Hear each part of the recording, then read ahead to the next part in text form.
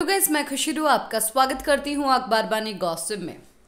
यहाँ पर मनीषा रानी को काफ़ी ज़्यादा डीमोटिवेट किया गया। ये बात तो मैंने आप लोगों को पहले ही बता दी, जो कि मैंने नोटिस किया था, पर अब जो है सोशल मीडिया पर भी लोगों को समझ आ चुका है। सोशल मीडिया पर, मेरे कमेंट सेक्शन में, हर जगह पर यही बात बोलते हुए नज़र आ रही हैं लोग कि भाई, मनीषा को जो है काफ़ी ज़्यादा डीमोटिवेट किया गया है। जहाँ पर मनीषा ने जो बात बोली थी कि हम जैसे हैं हम वैसे ही घर के अंदर रहेंगे क्योंकि हम ऐसे ही हैं। प्रोमो भी दिखाया गया। प्रोमो को तोड़ मरोड़ के बात की गई।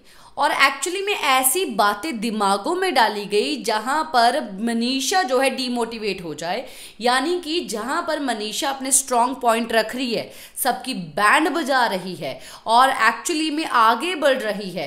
तो क्या ये मेकर्स डर चुके हैं कि भाई जिसको हम आगे लेके जाना चाहते हैं, उसका तो ये पत्ता साफ़ कर रही है? हमने तो ये सब चीज़ें सोची नहीं थी, ये तो एक्चुअली में आगे जा रही है। तो ये सब चीज़ें हैं जो कि मैंने आप लोगों को भी बोली थी और सोशल मीडिया पर लोग भी बोल रहे हैं कि काफ़ी ज़्यादा डिमोटिवेट किया गया है, जो कि हमें अच्छा नहीं लगा है।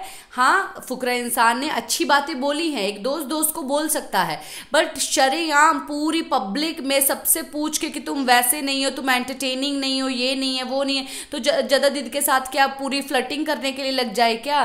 क्या सिर्फ़ अपना बिहारी एक्सेंट बस चालू करके ये, वो, ऐसा वैसा बस वो ही लगे क्या? अपने पॉइंट ऑफ़ व्यू ना बोले, अपने एक्चुअली में मुद्दे ना, मुद्दों में स्टैंड ना ले, ये सब चीज़ें चाहते हैं इसीलिए डिमोटिवेट किया है।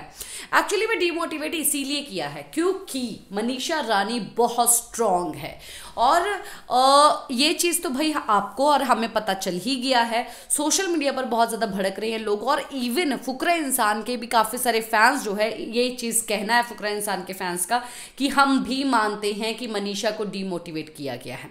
और ये चीज़ तो सलमान खान करते कृष्णा ने आके कर दिया। तो ये चीज़ पक्का पता चल गई कि ये चीज़ जो है मेकर्स करते हैं। मेकर्स स्क्रिप्ट लिखते हैं और उसके सहारे ये पोपट बन के बक बक बक बक बोलते रहते हैं और सलमान खान तक भी ऐसी बातें बोलते हैं कि बस स्क्रिप्ट के खुद सही गलत नहीं जानते कि सही गलत क्या है, सही क्या है, गलत क्या है, बस जो बोल दिया, बस वो जो स्क्रिप्ट में लिख दिया, बस बड़बड़ बोल देना है। ये रियलिटी शो है, कोई मूवी नहीं है, कोई कॉमेडी शो नहीं है। क्या कहते हैं आप? बताइए ज़रूर। इसी के साथ मैं लेती हूँ इजाज़त, नमस्कार।